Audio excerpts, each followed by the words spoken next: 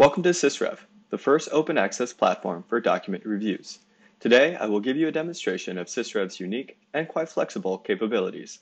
But first, a brief statement about our values and goals at Sysrev. As I said, Sysrev is the first open access platform for document reviews. To show our dedication to open access and transparency, public projects on Sysrev are and always will be free. Unlimited projects, unlimited reviewers, for free. In turn, public projects are completely transparent and have a dedicated findable URL. Anyone can go to a public project and see which articles were reviewed and which data was extracted. The level of data that is recorded will become more clear later in this demonstration. That said, we understand that there are reasons that users may want to keep their research confidential. For instance, if the review includes proprietary or personal information. For those who wish to protect their research, we offer unlimited private reviews for just $10 a month.